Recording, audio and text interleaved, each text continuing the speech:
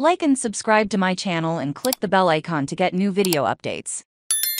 Lilly plans to cut some insulin prices and increase cost cap. The steps announced Wednesday promise significant relief for some people with diabetes who may face thousands of dollars in annual costs for the insulin they need to survive. Lilly's changes also come as lawmakers and patient advocates put pressure on drug makers to do something about rising prices. High deductibles can result in high bills at the pharmacy counter, especially early in the year when deductibles are renewed. Ricks said it will take time for insurers and the pharmacy system to implement their rate cuts. So the drug maker will immediately cap monthly copayments for people not covered by the Medicare prescription drug program to $35. Drug makers can also face competition from companies like the nonprofit Now It's Civica, which plans to make three insulins at a suggested price of no more than $30 per vial